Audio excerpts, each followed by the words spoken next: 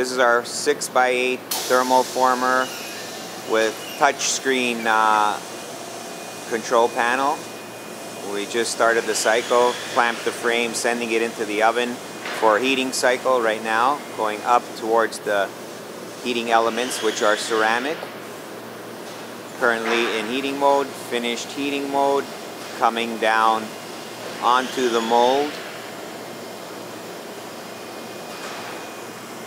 And now it's going to turn on to vacuum mode as it comes out of the oven on the trolley system and forming. And now the fans will activate for cooling cycle. And once cooling cycle is over clamps will lift and release